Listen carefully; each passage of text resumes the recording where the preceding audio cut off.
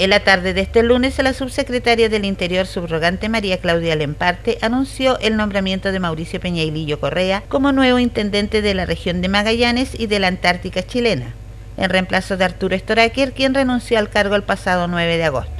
Mauricio Peñailillo, quien asumirá el próximo 2 de septiembre, es casado, tiene cuatro hijos y es ingeniero en ejecución mecánica. Se desempeñó desde marzo de 2010 como director regional de Corfo. Entre los años 2005 y 2009 fue consejero regional de Magallanes, donde integró las comisiones de fomento y desarrollo de infraestructura, desarrollo territorial y patrimonio, ciencia, energía y nuevas tecnologías y régimen interior.